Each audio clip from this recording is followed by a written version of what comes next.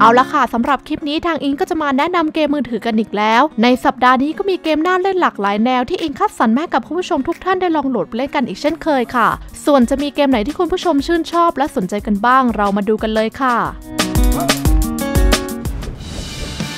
มาดูเกมที่ 1 กับเกมปลูกผักทำฟาร์มที่มาพร้อมกับเรื่องราวอันสุดเข้มข้น และตัวเกมนี้ก็ยังมีระบบการทำฟาร์มที่หลากหลาย อันมีชื่อว่าเกม Big Farm Story สำหรับตัวเกมนี้ก็ได้มีการปูเรื่องราวของหญิงสาวคนหนึ่ง ผู้ที่เบื่อหน่ายการใช้ชีวิตอยู่ในเมืองใหญ่ เธอจึงได้ตัดสินใจหนีกลับมาดูแลฟาร์มของคุณปู่ต่อ แต่มันไม่ง่ายอย่างที่คิดนะคะ เมื่อเธอกลับมาแล้วจะต้องมาทำการปรับปรุงฟาร์มที่กำลังย่ำแย่แห่งนี้ พร้อมกับการตามหาคุณปู่ที่หายตัวไปอย่างไร้ร่องรอย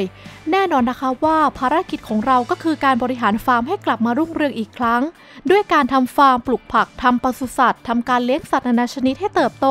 เพื่อนำผลผลิตที่ได้รับไปขายตามท้องตลาด และบริหารการจับจ่ายใช้สอย เพื่อนำวัตถุดิบนานาชนิดมาพัฒนาฟาร์มให้ดีขึ้นนั่นเองค่ะ อีกทั้งภายในเกมนี้ก็มีระบบการทำภารกิจช่วยเหลือชาวบ้าน สร้างปฏิสัมพันธ์กับพวกเขาในการสืบหาเบาะแสของคุณปู่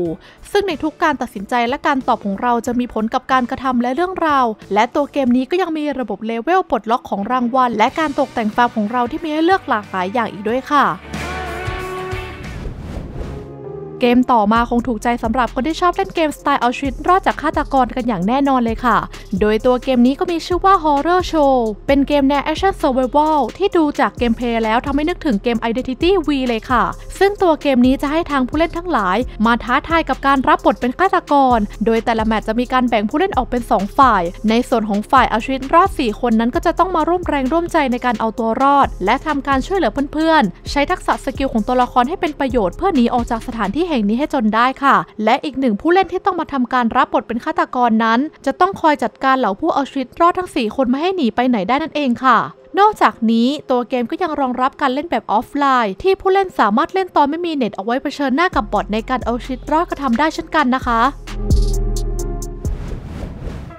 มาต่อกันเลยกับเกมที่ 3 กับเกมวางกลยุทธ์ที่ทางผู้เล่นจะได้มาจัดการรบในสงครามรถถัง ภายในเกมที่มีภาพกราฟิกดูดี กับเกมที่มีชื่อว่า Pico Tank และสำหรับเกมนี้ทางผู้เล่นทั้งหลายจะได้มาสนุกกับสงครามรถถังเผชิญหน้าต่อสู้กันแบบ 3 ต่อ 3ซึ่งตัวเกมนี้ก็มีระบบการปรับแต่ง อัปเกรดตัวรถถัง ทั้งพลังการโจมตีที่แรงขึ้น เพิ่มประสิทธิภาพ เสริมทัพด้วยการติดตั้งอาวุธที่คุณสามารถจัดสรรเลือกใช้ในแต่ละสถานการณ์ต่างๆ ระหว่างการต่อสู้ได้อีกด้วยค่ะ งานนี้ทางผู้เล่นสามารถเลือกร่วมรบกับผู้เล่นคนอื่น ๆ จากทั่วโลก หรือจะทำการฟอร์มกลุ่มตั้งตีเล่นกับเพื่อนๆด้วยกัน 3 คนก็ทำได้ค่ะ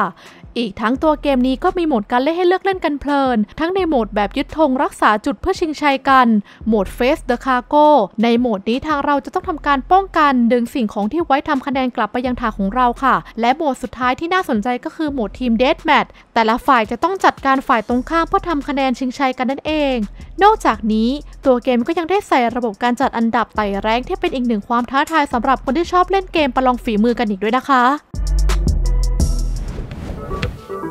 นับว่าเป็นอีกหนึ่งเกมจากค่าย Atari ในตำนานกับมหากาพย์เกมสร้างสวนสนุกที่มีมาตั้งแต่สมัยยุคบุกเบิก คราวนี้ก็ได้หยิบเอาซีรีส์เกม RollerCoaster Tycoon มาทำเป็นเกม puzzle ผสมการสร้างสวนสนุกได้อย่างน่าสนใจกับเกมที่มีชื่อว่า RollerCoaster Tycoon Story ค่ะและตัวเกมนี้นะคะ ทางผู้เล่นจะต้องมาทำการช่วยเหลือเหล่าผู้ดูแลสวนสนุกแห่งนี้ทำการต่อเติมปรับปรุงอาณาบริเวณ และเครื่องเล่นต่างๆ ให้กลับมาพร้อมให้บริการกับผู้คนอีกครั้ง ซึ่งระบบภายในเกมนี้จะเน้นในส่วนของตัว Puzzle ผู้เล่นจะต้องทำการจับคู่เหล่าไอเทมบนรางรถไฟให้เข้ากันแบบแมตช์3เพื่อรับตั๋วในการทำภารกิจต่างๆ ไม่ว่าจะเป็นการซ่อมแซมเครื่องเล่นทำความสะอาดพื้นที่ ตกแต่งสวนสนุกให้ดูดีขึ้น ไปจนถึงการสร้างร้านค้าให้น่าดึงดูดผู้คนในสวนสนุกแห่งนี้ให้กลับมามีชีวิตอีกครั้ง อีกทั้งทางผู้เล่นจะได้พบกับตัวละครใหม่ๆ ที่เข้ามาผสมโรงในเรื่องราวการปรับปรุงสนสนุก และการแก้ไขปริศนาอีกด้วยค่ะ นอกจากนี้ตัวเกมก็ยังมีระบบการรับของรางวัลประจำวัน และก็ยังมีระบบการจัดอันดับเพื่อแข่งขันกับทางผู้เล่นคนอื่นๆ ให้ท้าทายกันมากขึ้นได้อีกด้วยนะคะ มาถึงเกมสุดท้ายมาดูเกมแนว action RPG ผสมการประจนภัยที่มาพร้อมกับการภาพสีสันสดใส กับเกมที่มีชื่อว่า m a k i n i g h t Blood b r e a k o s โดยเกมนี้เราก็จะมารับบทเป็นอัศวินจักรกลในแบบต่างๆ ที่มีทั้งตัวละคร Lancer ตัวละครนี้จะถนัดในด้านของการโจมตีในระยะใกล้สำหรับตัวละครที่ 2 คือ Musket ที่มีความเชี่ยวชาญในการต่อสู้ในระยะไกล และก็ตัวละคร Flame ที่สามารถใช้ความสามารถได้หลากหลาย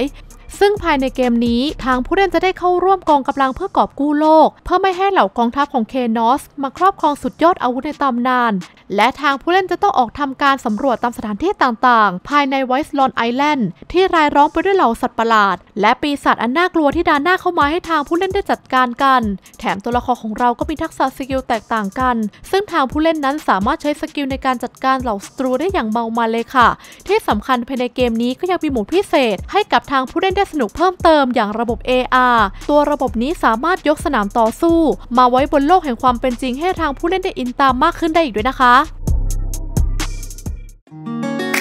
มาจนถึงตอนนี้อิงก็ได้ทำการแนะนำครบทั้ง 5 เกมไปแล้วสำหรับใครที่อยากจะดูคลิปเกมอื่นๆ สามารถกดดูที่คลิปบนหน้าจอกันได้เลยค่ะ และคุณผู้ชมคนไหนที่ชอบอิงมาแนะนำเกมแบบนี้ อย่าลืมกดไลค์กดแชร์กดติดตามช่อง และกดกระดิ่งแจ้งเตือนจะได้ไม่พลาดคลิปมาใหม่ในช่องอินกันค่ะ ส่วนในวันนี้ทางอิงก็ต้องขอตัวลากันไปก่อนแล้วเจอกันใหม่ในคลิปหน้า สวัสดีค่ะ